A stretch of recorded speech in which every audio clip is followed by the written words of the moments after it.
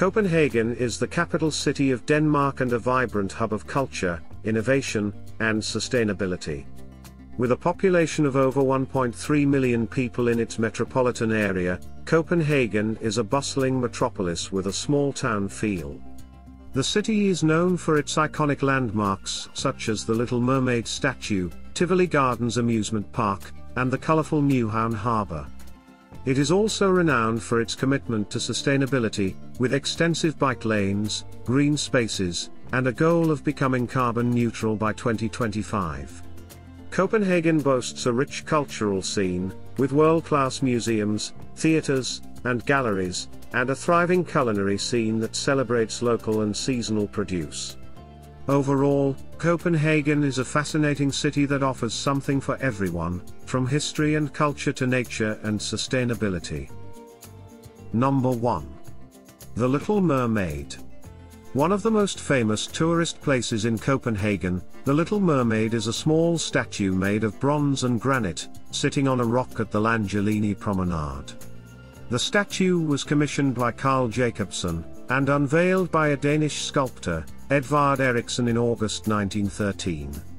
The statue is inspired by the fairy tale Little Mermaid by Hans Christian Andersen, and depicts the moment when the mermaid transforms into a human, looking towards the shore and waiting for her prince. Number 2. Nyhavn? Nyhavn is a waterfront, entertainment, and canal district, that was founded in the 17th century as a gateway to the old inner city from the sea. The numerous 17th and 18th century townhouses, cafes, bars, and restaurants situated on the harbour make this district one of the best places to visit in Copenhagen. You can see several historic ships lined up in the Nyhavn Veteran Ship and Museum Harbour and the Danish National Museum. You can also see the Memorial Anchor, and explore the bars and restaurants offering a great view with excellent food and drinks. Number 3. Amalienborg Castle. The home of the Danish royal family, Amalienborg Castle has four identical facades around an octagonal courtyard, with a monumental equestrian statue of King Frederick V, founder of Amalienborg, in the center. Here you can see the changing of the royal guard, Den Kongelige Livgarde, that takes place at 12 noon every day. You can visit the four identical buildings with classical Rococo interiors and royal history, where many monarchs have lived with their families over the years. Number 4. Copenhagen Zoo. The Copenhagen Zoo was founded in 1859, and is one of the oldest zoological gardens in Europe, most famous for its new elephant house that was built by Sir Norman Foster. The zoo promotes and maintains numerous European breeding programs, and has a wooden observation tower that was built in the year 1905, and offers views of the city and surrounding parklands. Some of the exotic animals that you can see here are turkey vultures, roseate spoonbills, Bactrian camels, black-capped squirrels and lions. Number 5. Ny Carlsberg Glyptotek also known as Glyptoteket, is an art museum that houses the personal collections of Carl Jacobsen, the Carlsberg Brewery's founder's son. The two main departments of the museum, the Department of Antiquities and the Modern Department, exhibit sculptures and paintings from many ancient and modern cultures, making it one of the famous places to visit in Copenhagen. You can see art and history from 3,500 years ago, 19th and 20th century paintings and sculptures, relax in the winter garden, and quench your hunger at the restaurants nearby. Number 6. Frederiksberg Palace.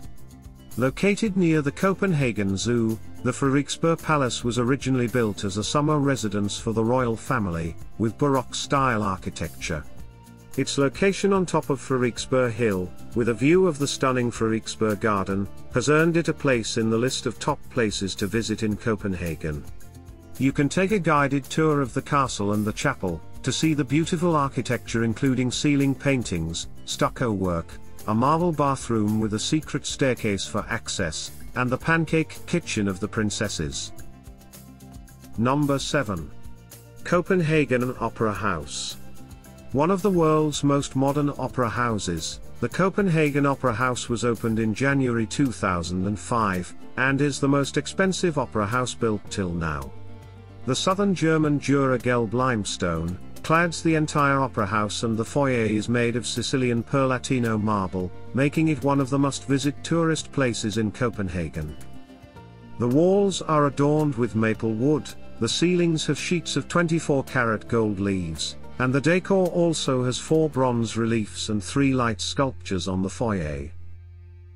Number 8. Strøget. This is Copenhagen's largest pedestrian and car-free shopping area located in the center of the city, and is also one of the city's most high-profile streets.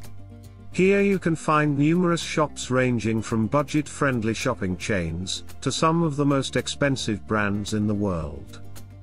Besides shopping, you can also visit the Church of Our Lady, the Stork Fountain, and the City Hall Square. Number 9. Christiania? Founded in 1917, Christiania or the Freetown Christiania, is a planned residential community located in Copenhagen, and is most famous for its relaxed view about cannabis or hash. Some areas of this community, especially the Pusher Street area is considered quite rough, and has its own separate rules, that visitors have to follow. You can explore the area through guided tours provided by the locals, offering a visit to the workshops, galleries, music, and eco-restaurants. Number 10. The Round Tower. Formerly known as Stellebergis Hafnians, the Round Tower is a 17th century tower astronomical observatory, most famous for its equestrian staircase. It is the oldest observatory in Europe still functioning, and one of the top places to visit in Copenhagen, offering an expansive view of old Copenhagen. You can see the core of the tower from a glass floor hanging above the floor, and you can also visit the library hall inside the tower. Hope you enjoyed the video. Don't forget to subscribe. Thank you.